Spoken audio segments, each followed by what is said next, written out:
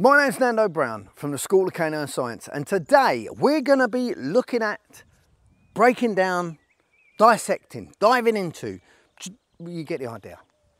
We're going to be looking at false indications in nose work. Cue the intro.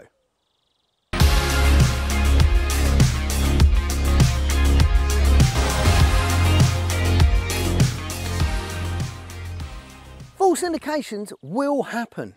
So we must include them as part of our training program. You've got to know how to deal with them. Now, those of you that are on the scent course, think back to Dean's Contamination Week and the studies done on false indication.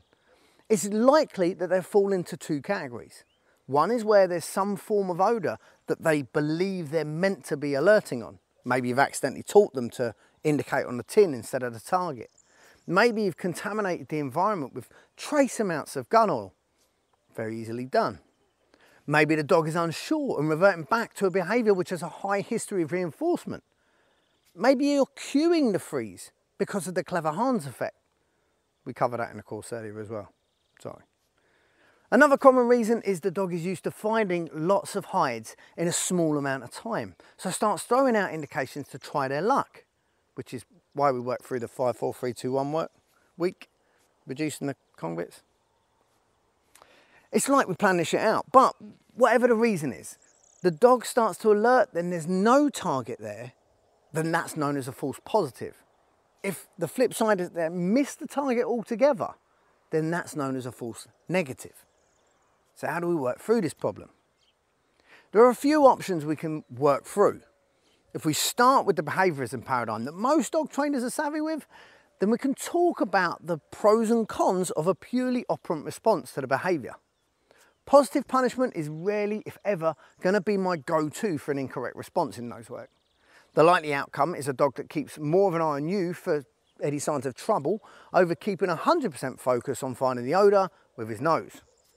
The cons outweigh the pros. If you're interested in nose work, you've likely seen this clip somewhere.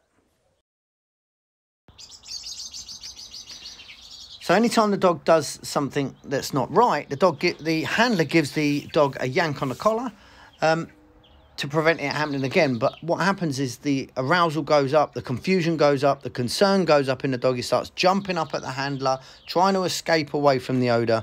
These are all things that are not beneficial in scent detection. Alrighty then. Extinction is a method we've discussed already where there's no response from you.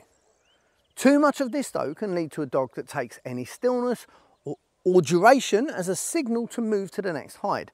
And then there's the possibility of frustration and extinction induced variables. We discussed those in the learning theory module of Puppy Lab. Then we can look at negative punishment. This can come in two main ways. Either you remove the dog from the search area, putting them up, or you remove the opportunity for reinforcement by removing the target odour. Now when we're training on pipes, I've used the removal of pipes, the hot pipe, uh, quite effectively. I was taught how effective this was on a chicken training camp with Bob Bailey, teaching the chickens a discrimination exercise. Ooh, you're hard showing off. But when it comes to the environmental searches, this can get a little bit messy. There is another option available to us as well. This is where we consider the dog as our teammate. We walk up to the area where the dog is indicating. We check out and admire whatever it is the dog's indicating on.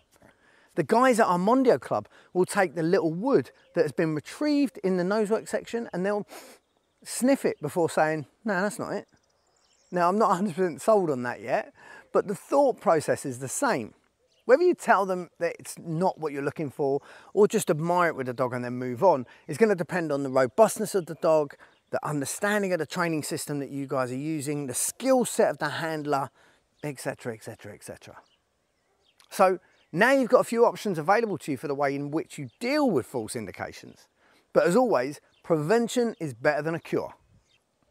One way to avoid the dog starting to throw out more falsies is double blind searching. When you invest more time in these, then you start to trust your dog a little more each time. Sometimes it's just not that easy though. So to build confidence in your dog when you haven't got someone else to lay searches for you, you can do a search circuit. Pick a number of areas on your house or on your walk. The amount of searches you lay is going to depend on your dog's skill level. We often lay 10 searches for our dogs. I'll lay them one day, Jo will do them the next. But even on the days that I lay them out, I'll be buggered if I can remember where I've hidden each one. So it's almost like I'm doing half of them blind anyway. At each search area, we'll have some kind of marker to show the st search start line. We'll run all the searches back to back with the same dog before getting the next one out. These are killer for knocking your dog out and getting them used to loads of different search areas and building stamina. But build up to 10 and call it off early if your dog is losing too much motivation.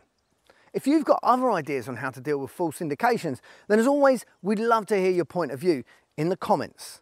And bonus points if you can leave pros and cons for your method over ours. If you've enjoyed the video, then we'd appreciate it if you hit the thumbs up. It genuinely does help. Or if you've got a cold, dead heart, you're welcome to hit the thumbs down too. Oh, son of a bitch! You shot me in the ass!